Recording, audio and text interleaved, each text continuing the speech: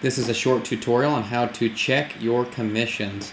So from your back office website, you can simply go to Commission Summary or My Business Commission Summary and click on that.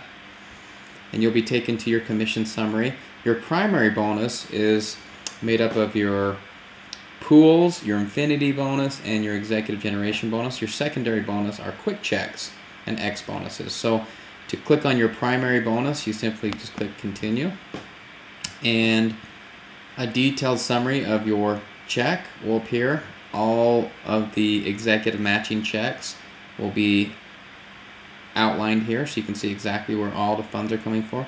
And you can see that this two week check here was, uh, was actually over 13, almost $14,000. So that's pretty good for a two week check. So that's how you view your commission summary. Just keep in mind that uh, the commission period is typically that we're getting paid on today happened about two weeks ago. So they pay you um, two weeks later for what's happening today, except for the quick checks.